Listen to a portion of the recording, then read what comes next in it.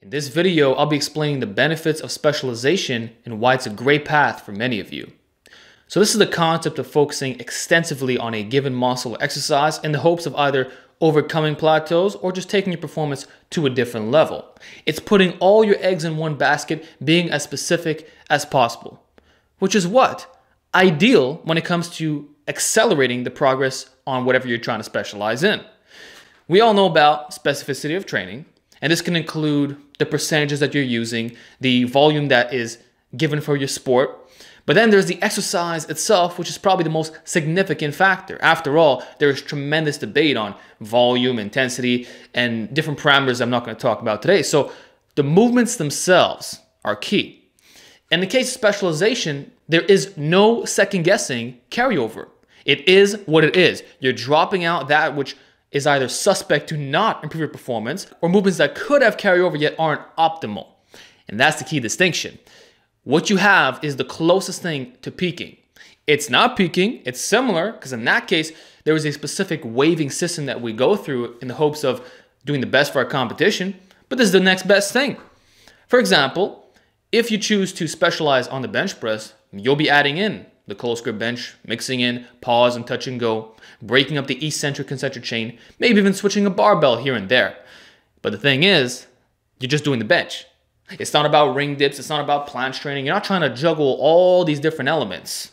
So if you want the best of the best, fastest results, optimal here, specialization is the definitive way to do this. And keep in mind, the other muscle groups may take a very slight hit, maintain, or improve very slightly. It's just a ratio here. So don't think that you're screwed in other respects. That when you start introducing some of the former exercise that there's going to be this huge roller coaster effect. That's not necessarily the case because with specialization, this is my second point, you are increasing your strength potential. What I mean is, muscular weaknesses are finally being combated. And a lot of you guys need this. You need to be put in your place in the sense that Stop doing the exercise you're good at. This is how you're going to get the best carryover in the long run. You have to train movements that are terrible for your build. The movements that from a ratio standpoint are not quite up to par. And you'll know what those are based off looking at strength charts, even comparing yourself to other lifters, which I'm not a fan of, but that could do the same thing. And of course, just being objective. If you're benching three plates for one, yet your OHP is at two plates for five, bro, your pecs are lagging hard. With an overhead press like that, you should be in the high threes and even four, five and beyond, in my honest opinion. So when you see distorted ratio, specialization allows you to correct that. And it's that correction which is not only good for injury prevention, but also aids in the long term because now you don't have to worry about this weakness anymore. And when you start running a general strength program, the carryover is going to be that much better. So initially, you might take a little hit, but when we look at it from an overall perspective, this is nothing but benefits. You put an inch on those triceps, you just took your bench press potential to a whole new level, even though that wasn't even your objective.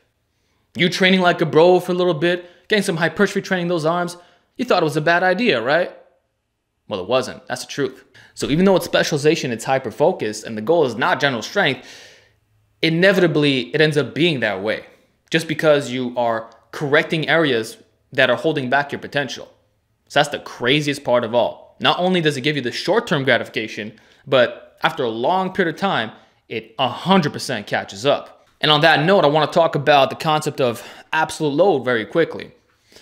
It depends what you're trying to specialize in, but what I can say is this.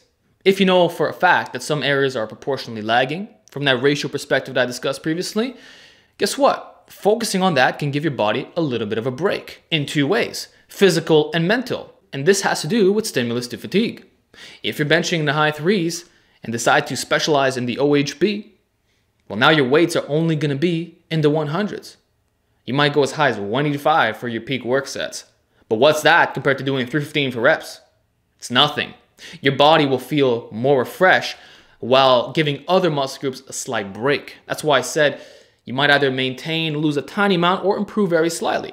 So if you're just doing OHP, your pecs are to feel refreshed and you're not lifting as heavy even though the percentages say you are.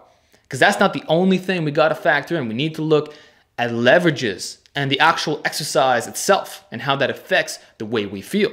So this will give you really good recovery. You're not feeling all beat down all the time. And then the mental break is just hyper focus. You're not stressing about anything else. This is your goal. I want a bigger weighted dip. I want a bigger front squat. I don't care about the deadlift. I don't care about the bench press. Whatever you choose to do, that's the only thing on your radar. And everything else doesn't matter anymore. That in itself lifts a huge weight off your shoulders. Ego detachment 101. You don't care about the consequences. This is what you want to do, and you're reaping what you sow. Simple as that. And in this case, the motivation is going to be so high because you're seeing tangible results right before your very eyes. That's what happens when you specialize. It's just boom, boom, boom, gains left and right. Who cares about the other stuff right now? You're not trying to be the jack of all trades, master of none. This is all about maximizing specificity of training. And you will do that every single time when you choose to specialize. And on that note, I want to end off this video by saying this. You're going to get very smart at programming this given exercise or correcting this given muscle group to the extent that you actually become an expert in this field. Look at the bench press specialists out there. Insane performance and other lifters go to their channels specifically for the bench.